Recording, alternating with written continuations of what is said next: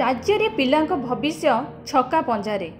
କେତେବେଳେ ସ୍କୁଲର ଶିକ୍ଷକଙ୍କ ଶିକ୍ଷାଦାନରେ ଅଭାବ ଦେଖାଦିଏ ତ କେତେବେଳେ ଶିକ୍ଷକ ଶିକ୍ଷୟିତ୍ରୀଙ୍କ ଅଭାବ। ଏଭଳି ଏକ ଦୃଶ୍ୟ ଦେଖିବାକୁ ମିଳିଛି ନୟାଗଡ଼ ଜିଲ୍ଲା ରଣପୁର ବ୍ଲକର କେରେଣ୍ଡା ଟାଙ୍ଗି ପଞ୍ଚାୟତରେ ଥିବା ବାଳକୃଷ୍ଣ ବିଦ୍ୟାପୀଠରେ। ଏମ୍ଇ ଏବଂ ହାଇସ୍କୁଲ ମିଶିକି ନୋଡାଲ ସ୍କୁଲ ହେଇଛି ଚାରିଶହ ପ୍ଲସ୍ ପିଲା ହେଉଛନ୍ତି ତେଣୁ ଆମ ସ୍କୁଲ ପାଇଁ ନିହାତି ଜଣେ ହେଡ଼ମାଷ୍ଟର ଏବଂ ଷ୍ଟାଫ୍ ଅଧିକ ବି ଦରକାର। ଏଠି ସ୍କୁଲରେ ଶିକ୍ଷକ ନାହାନ୍ତି। ଶିକ୍ଷକର ବହୁତ ଅଭାବ।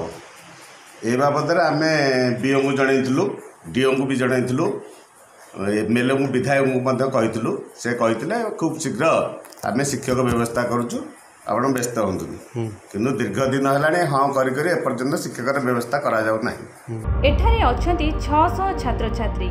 ହେଲେ ସ୍କୁଲରେ ଶିକ୍ଷକଙ୍କ ସଂଖ୍ୟା ମାତ୍ର ଚାରି। ଷଷ୍ଠରୁ ଦଶମ ଶ୍ରେଣୀ ପର୍ଯ୍ୟନ୍ତ ପିଲାମାନେ ବିଦ୍ୟାଳୟକୁ ଆସନ୍ତି। ହେଲେ ଶିକ୍ଷକଙ୍କ ଅଭାବରୁ ଠିକ୍ ଭାବରେ ପାଠ ପଢ଼ିପାରନ୍ତି ନାହିଁ। ସ୍କୁଲରେ ଆମେ ଆମ କ୍ଲାସରେ ଶହେ ଚାରି ପିଲା ଏବଂ ସ୍କୁଲରେ ଅଧିକ ସଂଖ୍ୟକ ପିଲା ଅଛନ୍ତି। କିନ୍ତୁ ଆମର ପାଠ ପଢ଼ିବାରେ ଅସୁବିଧା ହେଉଛି କାରଣ ସାର୍ ନାହାନ୍ତି ଖେଳ ସାର୍ ନାହାନ୍ତି ଏବଂ କମ୍ପ୍ୟୁଟର କ୍ଲାସ୍ ମଧ୍ୟ ଆମର ହେଇପାରୁନି। ଆମର ପରୀକ୍ଷା ପାଖେଇ ଆସିଲାଣି। ସ୍କୁଲରେ ବହୁତ ପିଲା ଅଛ- ଅଛନ୍ତି ବହୁତ ସଂଖ୍ୟକ ପିଲା। କିନ୍ତୁ ଆମର ଶିକ୍ଷକ ସଂଖ୍ୟା କମ୍ ହେତୁ ଆମେ ଭଲରେ ପଢ଼ିପାରୁନୁ କିନ୍ତୁ ନବମ କ୍ଲାସ୍ରେ ଦଶମ କ୍ଲାସ୍ରେ ସେକ୍ସନ୍ ହେବା କଥା। କିନ୍ତୁ ଆମେ ଏବେ ସେକ୍ସନ୍ ନ ହୋଇ ଗୋଟିଏ କ୍ଲାସ୍ରେ ସମସ୍ତେ ପଢ଼ୁଛୁ। ଉକ୍ତ ଅଞ୍ଚଳର ଗାଁ ଲୋକ ଏ ବାବଦରେ ଶିକ୍ଷା ବିଭାଗର ଉଚ୍ଚ କର୍ତ୍ତୃପକ୍ଷଙ୍କୁ ଜଣାଇଥିଲେ ମଧ୍ୟ ଏଯାବତ୍ କୌଣସି ସୁଫଳ ମିଳିନାହିଁ। ହେଡ଼ମାଷ୍ଟର ଇନଚାର୍ଜ ଶିକ୍ଷକ ଆମର ବହୁତ ଅଭାବ।